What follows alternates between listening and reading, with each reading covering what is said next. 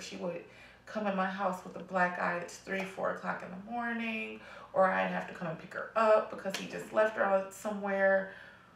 I remember growing up and watching uh, the Cinderella story, and I always thought that, you know, that that was indicative of what my life would be like. This prince, Prince Charming, would find me, would rescue me. Cinderella story doesn't always happen just that way, you know, that um, sometimes our life takes these intersections that um, shape us and good, bad, and indifferent. And um, we can take those instances and um, learn and grow for, from them. And this particular intersection in my life is about surviving domestic violence. You know, I don't think any young girl grows up and um, ever imagines being uh, beaten or um, being rendered powerless by and in a love relationship.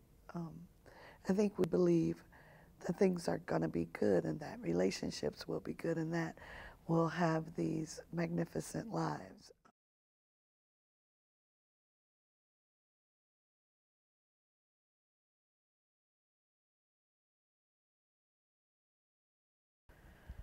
The first time I experienced domestic violence, I was 17 years old and I was pregnant with my first child. Um, he decided to punch me in my face and it knocked me to my knees.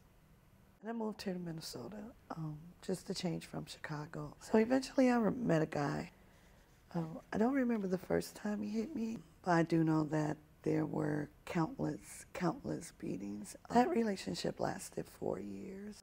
There was nothing I could do or nothing I could say or promise or display to him that would um, cause him to stop being violent. Normally at night, I, I got punched um, for no apparent reason at all. Just you know, just him reminding me that, you know, he's in control and, um, and reminding me that this is what he does to me and this is what he will do to me. You know, I, I never really understood how uh, someone could tell you that they love you and in the next instance be beating you um, down in the ground or down to the floor or um, hitting you with objects or or kicking you or spitting on you or calling you names. And uh, I always believed or wanted to believe that he would change, that, um, that he would someday become that Prince Charming, that one in that Cinderella story. And it never happened.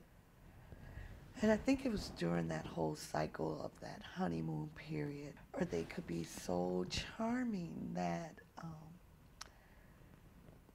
you know, it just reeled you back in. Eventually, the honeymoon would be over, and we would be right back to that whole chaotic lifestyle of the beatings, the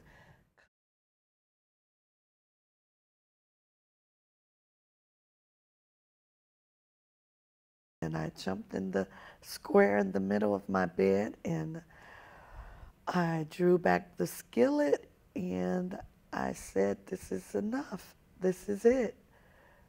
I cannot allow you to hit me again. And um, either you're going to kill me or I'm going to kill you. Someone called the police. The police came and um, I went to the battered women's shelter. And I stayed there 30 days. And by the time I came home, he was gone. And I've, I've heard it said, um, out of the frying pan and into the fire. And um, got into another relationship, and that relationship was equally, if not more, abusive.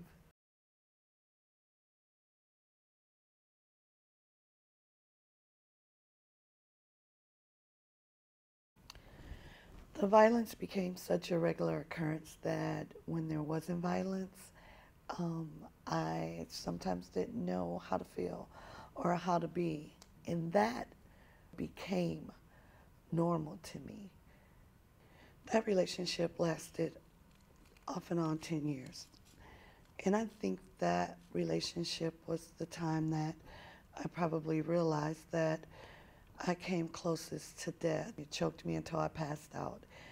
Um, and I remember waking up with my sister standing over me, asking me, why am I lying on the floor? And, and he wasn't there.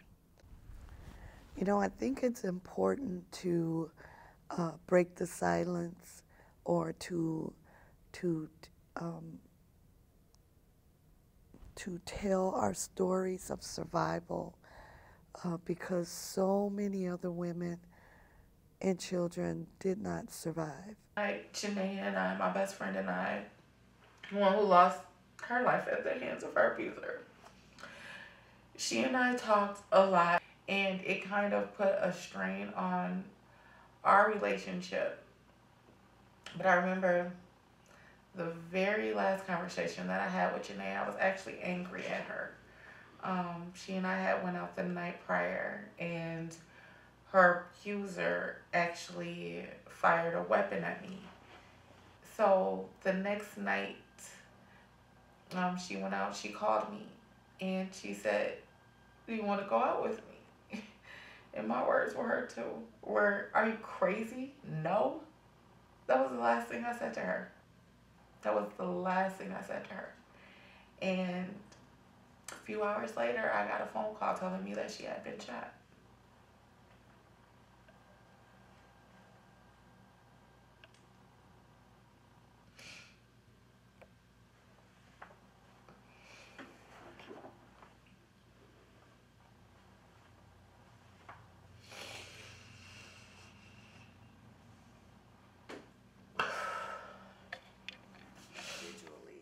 We are all responsible for breaking the silence and uh, for speaking out about the violence, whether it's our neighbor, whether it's our, our sons, our daughters, uh, our, that are experiencing or even perpetrating violence. It took me some time to discover that I was not responsible for anybody else's decisions.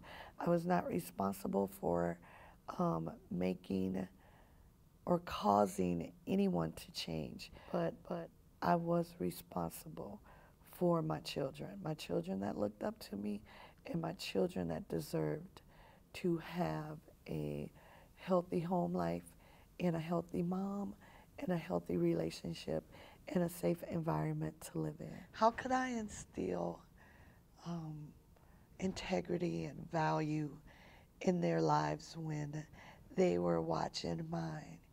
Being taken away from me on almost a daily basis.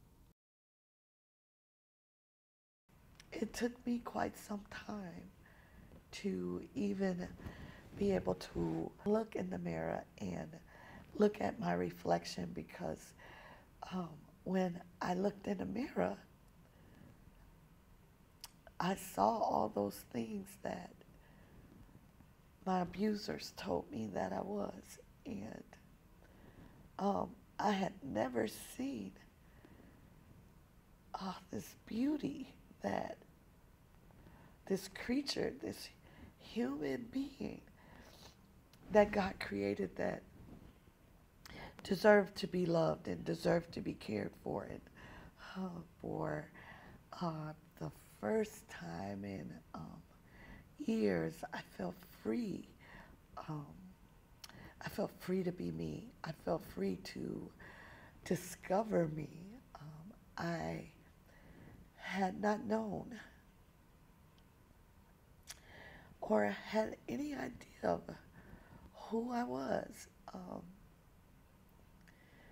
because for so many years in my life, I was something to someone else. In that healing process, and as I began um, to surrender my will to this power greater than myself, surrender it to God, and surrender all that badness and all those bad words. And, and He gave me new words to uh, replace the old words, you know. And where I wasn't a bitch anymore, and where I was the apple of God's eye, and and I wasn't stupid anymore. But you know, um, I was worth more than rubies, and God had given me this garment of praise for a spirit of heaviness, and I had never felt that type of love or abandon.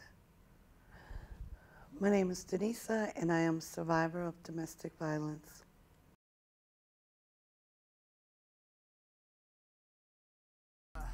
Yeah, we all need somebody that can look at us proudly. So I got love for your mommy because you never doubt me. Don't know where I'd be without you in my life. Oh, that's right. Constantly dodging the daily battles and catching strife. No one to teach me the fragile line between wrong and right. No one to tell me to get on my knees and pray at night. And when I get too big, she knocked me to the perfect height. Then tell me get back up and get myself back in the fight.